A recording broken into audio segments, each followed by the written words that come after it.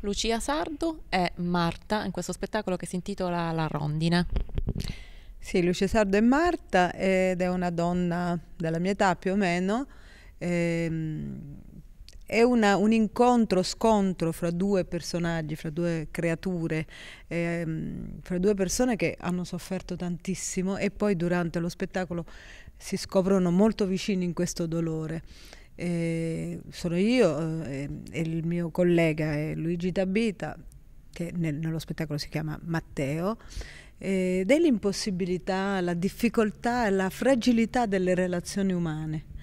Eh, Clua, che il, il, drammaturgo, ha scritto questa pièce ispirandosi alla tragedia di Orlando, dove furono uccisi 49 ragazzi, un bar gay nel 2016. E, mh, si è ispirato, quindi noi raccontiamo la storia appunto di eh, di, di, alcune persone che sono morte, ma lo spettacolo dà alla fine ehm, una grande leggerezza. È come se ci fosse una grossa riconciliazione, ognuno rivendica il diritto di, del proprio dolore. E, e, comunque alla fine questi due personaggi si incontreranno e, e risolveranno, diciamo, il problema, il dolore rimarrà, la cicatrice sarà sempre forte e potente, però ci sarà una nuova speranza. io penso che l'arte deve sempre mh, essere salvifica. Eh, perché a me personalmente non interessa andare a vedere a teatro o al cinema ehm, le malattie de, degli scrittori, le malattie dei registi. Io voglio una soluzione, una possibile soluzione. Voglio che l'artista eh, mediti pensi tanto, perché noi abbiamo questa, questa possibilità per provare a, a identificare una possibile soluzione.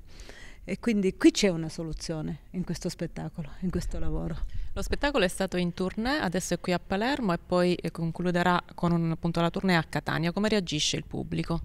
Noi siamo veramente commossi ed emozionati. Prima dicevo che non è bello che un attore, un artista eh, parli bene di sé, però siamo veramente, non siamo sorpresi perché anche a noi ha fatto lo stesso effetto quando l'abbiamo letto la prima volta. Eh, siamo veramente commossi perché la gente reagisce, si commuove, eh, piange, piange di commozione.